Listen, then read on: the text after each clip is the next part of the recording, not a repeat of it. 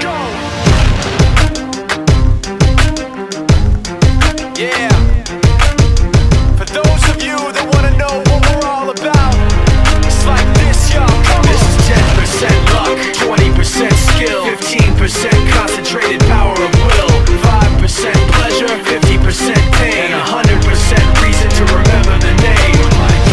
He doesn't need his name up in lights, he just wants to be heard, whether it's the beat or the mic so unlike everybody else alone In spite of the fact that some people still think that they know him But fuck him, he knows the code. It's not about the salary, it's all about reality And making some noise, making a story Making sure his click stays up. That means when he puts it down, Tox picking it up. Let's go. Who the hell is he anyway? He never really talks much Never concerned with status, but still even him starstruck. Humble through opportunities, fact that many misjudge him cause he makes a living from writing raps. Put it together himself, now the picture connects Never asking for someone's help or to get some respect. He's only focused on what he wrote, his will is beyond reach And now it all unfolds, the skill of an artist. This is 20% skill, 80% fear. Be 100% clear, cause Ryu was ill. Who would've thought he'd be the one that set the West in flames? And I heard him wreck it with the crystal method, name of the game. Came back, dropped Megadeth, took him to church. I like Bleach, man, Ryu Spit his verse, this dude is the truth. Now everybody giving them guest spots And stocks through the roof, I heard he fucking with that. This is 10% luck,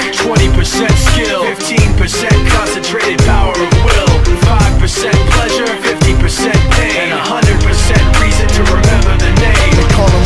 sick and he's spitting fire and Mike got him out the dryer, he's hot. Found him in Fort Minor with top, but a fucking nihilist. Porcupine, he's a prick, he's a cock The type. Women wanna be within rappers Hope he gets shot. Eight years in the making, patiently waiting to blow. Now the record with your notice, take it to the globe. He's got a partner in crime, his shit is equally dope. You won't believe the kind of shit that comes out of this kid's throat top He's not your everyday on the block. He knows how to work with what he's got Making his way to the top. He often gets a comment on his name asking him Was it given that birth or does it stand for an acronym? No, he's living proof.